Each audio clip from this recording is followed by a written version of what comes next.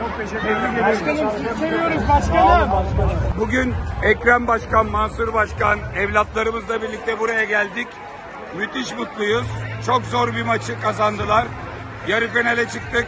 Bence finale de çıkacağız. Mutlaka madalya alacağız. Sonuna kadar milli takımın arkasındayız. Filenin Sultanlarının arkasındayız. Hep söylüyorum. Filenin Sultanları kazandığında kimin gırtlağı düğümleniyorsa o bizdendir.